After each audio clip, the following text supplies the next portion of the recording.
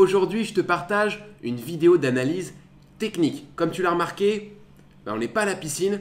Aujourd'hui, je suis sur mon ordinateur et je vais te euh, mettre en avant la règle unique que respectent absolument tous les nageurs qui sont rapides. Attention, ce format est totalement inédit. C'est un format que nous allons réutiliser tout au long de l'année avec les nageurs du club 2.0. Parce que peut-être que tu n'es pas encore au courant, mais nous lançons officiellement le tout premier club de natation 100% en ligne dans lequel nous allons accompagner nos nageurs pendant un an.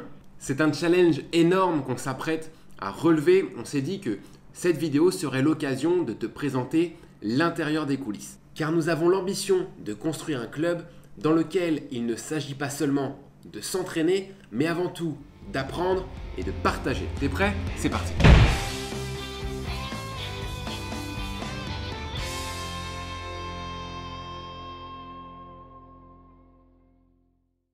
Allez, j'enfile les lunettes et on est parti pour l'analyse. Le thème d'aujourd'hui, ça va être l'alignement en crawl. L'alignement en crawl, c'est hyper important. C'est un peu comme, euh, parce que la natation, finalement, il y a une grande difficulté quand on débute, euh, c'est la technique. Et lorsqu'on ne maîtrise pas l'alignement, c'est un peu lorsque si tu débutais la randonnée avec un sac à dos rempli de pierres avec 50 kg sur ton dos de lest. Et à chaque fois que tu vas améliorer un petit paramètre technique, eh c'est un peu comme si tu allais enlever une pierre. Et lorsque tu débutes, si ton alignement ben, n'est pas maîtrisé, c'est comme si tu te trimballais du lest lorsque tu étais en train de nager. Et là, on va voir euh, bah, la première mise en situation qui est la suivante. Et voici justement une bonne illustration de ce fameux sac de pierre. Ici, toutes les flèches en bleu symbolisent les résistances que doit affronter le nageur à cause de sa position. Et comme tu peux l'observer, son bassin et ses genoux sont très en profondeur. Ainsi, plus tu es à la verticale comme ici, et plus il y a de résistance. Alors que, bah là comme tu peux le voir, ici le simple fait d'être davantage allongé à la surface et de remonter son bassin, bah, ça lui permet de subir beaucoup moins de résistance. C'est un peu comme euh, si tu libérais d'un seul coup plusieurs kilos de son sac de pierre pour lui permettre bah, de trottiner.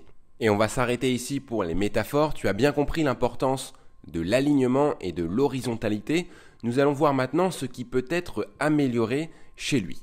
Et ici, la première raison pour laquelle ses jambes et son bassin s'enfoncent, c'est l'orientation de son regard, car l'alignement ici entre la tête, le tronc et le bassin est brisé.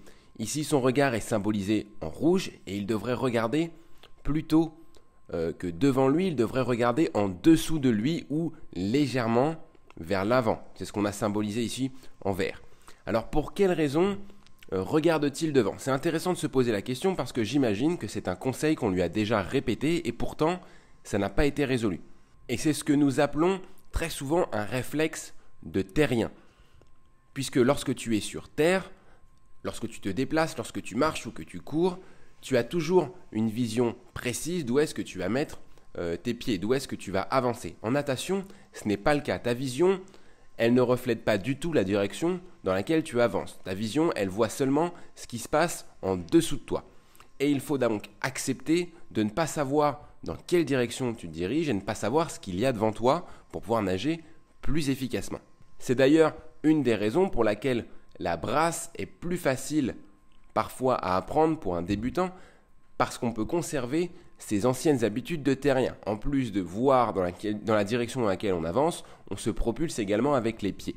Pour autant, c'est certainement pas la nage par lequel il faudrait commencer pour apprendre à nager efficacement. Et si jusqu'à présent tu as encore des difficultés pour te débarrasser de ces mauvaises habitudes de terrien et devenir plus aquatique pour être capable bah, d'enchaîner les longueurs sans effort, de glisser sur l'eau et de ne pas avoir besoin à chaque fois de t'arrêter au mur, eh bien, tu peux rejoindre ce petit challenge de 7 jours, euh, apprendre le crawl facilement, dans lequel nous te partageons les clés, les fondamentaux pour justement dépasser ce premier cap.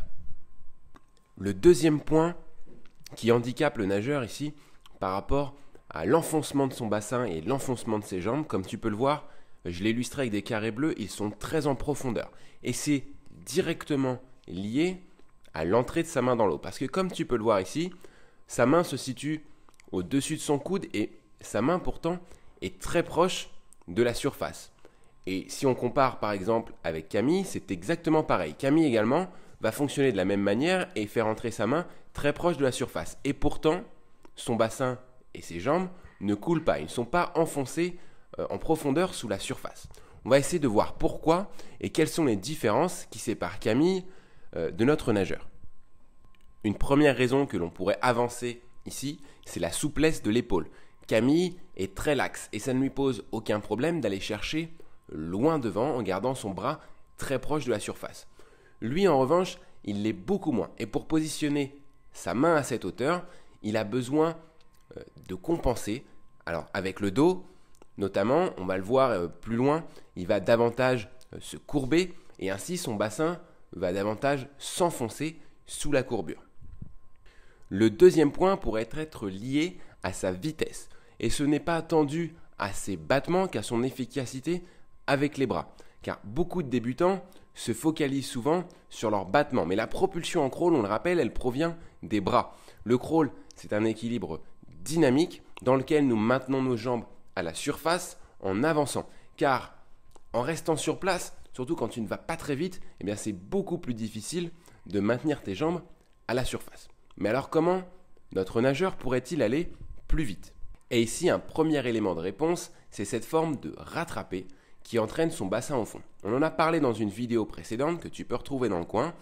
Le rattraper, c'est au moment où tu ramènes ton bras vers l'avant, il y a un bref laps de temps dans lequel il n'y a aucune action motrice, il n'y a rien qui te propulse, il n'y a rien qui engendre de la vitesse, excepté éventuellement tes battements de jambes. Or, quand tu débutes et que tu n'as pas un bon battement de jambes, il vaut mieux limiter au maximum ce type de trou moteur et donc d'être tout le temps dans une phase de propulsion active avec les bras. Et le pire dans cette situation, c'est probablement ce qui entraîne encore davantage son bassin vers le fond, c'est qu'au moment où il a cette période de trou moteur, c'est le moment où il respire. Et lorsque tu viens tourner la tête sur le côté, tu crées encore davantage de résistance. Et si ta respiration euh, n'est en plus pas idéale, c'est-à-dire que tu vas trop sortir la tête ou tu vas éventuellement trop la relever, eh bien ton bassin va s'enfoncer encore davantage. Alors on pourrait très bien s'arrêter à ce type d'analyse un peu superficielle, mais on va essayer d'aller ensemble beaucoup plus loin. On va essayer de comprendre quelle est la vraie raison derrière sa difficulté à maintenir son bassin à la surface lorsqu'il respire. Et on va continuer ensemble donc de creuser, car les causes, elles sont toujours euh, multiples. Il y a toujours plusieurs causes et il est parfois difficile d'identifier euh, toutes les réponses par soi-même. Surtout euh, si on demande à un coach et à un autre coach et un autre coach, à chaque fois il y aura probablement des avis différents. Donc plutôt que de te citer une seule raison, on va essayer ensemble d'identifier euh, toutes les raisons les plus flagrantes. Et à commencer peut-être par la respiration en deux temps. Parce qu'ici on a bien l'impression qu'elle le déséquilibre à chaque inspiration. Mais alors comment pourrait-il simplement l'améliorer? Alors d'abord un point sur la respiration. En natation c'est très simple, elle se fait toujours en deux temps. 1. Je souffle dans l'eau. 2. J'inspire en dehors. Et je ne fais qu'inspirer en dehors. C'est très important pour y passer un minimum de temps. Et ici, on a l'impression que notre nageur, peut-être qu'il ne se contente pas simplement d'inspirer lorsqu'il sort la tête en dehors de l'eau. Peut-être qu'il souffle un peu et qu'il inspire ensuite, ce qui lui fait perdre probablement beaucoup de temps. Et donc, notre nageur pourrait peut-être commencer par expirer davantage sous l'eau, car on a le sentiment qu'il souffle très peu, et finalement, s'il expirait davantage, il pourrait passer peut-être moins de temps avec la tête hors de l'eau. Ensuite, une seconde possibilité, une seconde solution serait de venir jouer sur sa fréquence de bras, car ici notre nageur tourne les bras très lentement, et ça l'oblige peut-être, ça le contraint à respirer tous les deux temps. Une solution envisageable serait de donc de tourner les bras un peu plus vite, non seulement pour lui permettre de générer davantage de vitesse, car la vitesse c'est le la multiplication de la fréquence par l'amplitude et également l'avantage euh, de tourner les bras plus vite, ça pourrait lui permettre de respirer tous les trois temps et ainsi de rééquilibrer sa nage, puisqu'il respirerait un coup à gauche, un coup à droite. Enfin, un dernier mot peut-être sur sa prise d'appui. Et ici, en l'observant de face, on constate qu'il y a un déséquilibre entre son bras droit et son bras gauche. Puisqu'il respire toujours à droite, on peut observer que son bras gauche lui sert d'appui devant et à chaque fois il vient croiser sa main devant euh, à chaque fois qu'il va respirer. C'est ce que je t'ai illustré en rouge. Idéalement, son bras devrait être bien tendu droit devant dans l'axe de l'épaule, c'est ce que je t'ai illustré en vert. Et l'objectif, ce serait donc de bien pouvoir euh, perforer l'eau et de s'en servir finalement un peu comme euh, la proue d'un bateau. Le problème, c'est que non seulement en croisant son bras, eh bien, il est moins efficace, mais c'est également, ça va placer son articulation, celle de l'épaule, euh, qui est celle la plus fragile, dans une position qui est inconfortable. Et à chaque fois qu'il va venir pousser en s'appuyant dans cette position, eh bien ça peut entraîner des blessures, surtout avec le nombre de répétitions. Typiquement, c'est ce qui peut entraîner une tendinite. Ensuite, on observe également qu'il casse son poignet pour pousser avec sa main vers l'arrière. C'est intéressant car il a cette volonté de chercher à pousser vers l'arrière pour se projeter vers l'avant. En revanche, si tu veux exercer un maximum de force, tu dois donc pousser avec la plus grande surface possible. En l'occurrence, ici la main, ça reste une petite surface. Idéalement, il faudrait pousser à la fois avec la main et l'avant-bras. C'est quelque chose qu'il fait beaucoup mieux si tu l'observes avec son bras droit par exemple. Allez, un dernier point, et on va finir là-dessus sur l'analyse, on va revenir bah, sur la notion fondamentale d'alignement. On l'a vu euh, de profil, maintenant on le voit de face, c'est exactement la même chose. L'objectif c'est toujours euh, de proposer la plus petite surface possible euh, face à, l'eau qui, va imprimer des résistances sur ton corps. Et donc il faut, par exemple, t'imaginer un trou devant toi. Là, je te l'ai symbolisé en blanc, dans lequel tu vas chercher à te glisser à l'intérieur à chaque coup de bras. Et plus ce trou sera petit et moins il y aura de résistance face à toi.